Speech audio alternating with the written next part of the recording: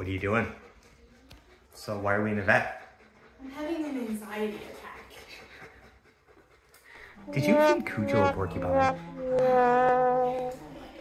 Oh, poor thing. So this is her very first encounter. The very first time she saw one. And no wonder why she didn't know what it was. So here we are in the vet to get it dealt with. Cujo's being very brave. Her, her pretty smile is a little different. She has a beard now. But she's leaving it very well alone. Luckily, nothing in the eyes. Her nose is almost unscathed. There's one that I see. And her tongue is perfect, but her eyes are great, so that's good. So, babe, please don't feed the dog a porcupine anymore. So, yeah, just always something. Oh my god, her mouth is full. All right, is it up inside? Yeah. Oh, you're right. Yeah, so she bit it. Yeah. It's way up in there. Nothing around her neck though. She got it in the mouth and in top of the top of the mouth, lips, and a couple in the nose. In the bottom too, under her tongue. Under her tongue? Yeah. Just like a little tongue.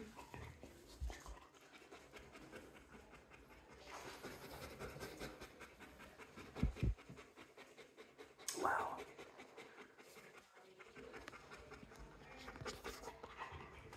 Why would you do this?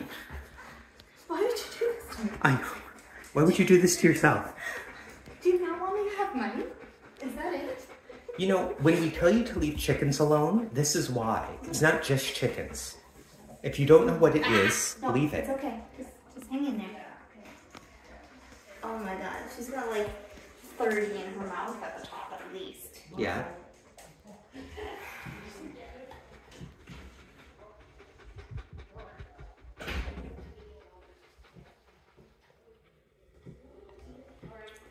Oh, poor thing. Poor thing.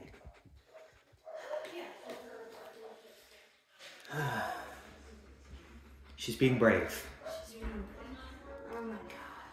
So she's a normal, relatively solitary livestock guardian dog who's in a vet, who is just very nice to a tech, and who's dealing really well with being in this locked room. So it's as good as the event could go so far. So let's see what that little face looks like when all those pills are out. Let's see oh, your no, post know. pull face. No, I know. You can't, honey. You can't. You're just gonna push them in. I know you don't understand. Poor thing. It's okay. It's okay. Please, please learn not to do that again, though.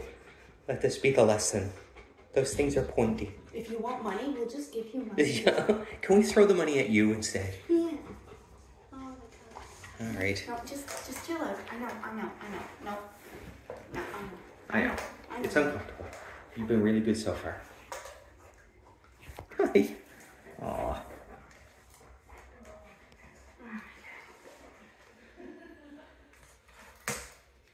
Don't put it in me. It's just her paw. no, it was her face. Was it? Oh, well, she's trying to wipe them out. If you were a good mom, you would take some quills for her. I would. I would have taken them all because I have tough courage. Exactly, I would have too, actually. You get a couple days off.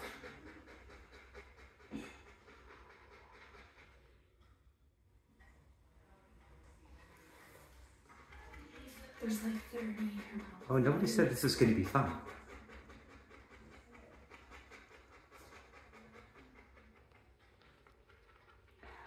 You're being brave, Cujo.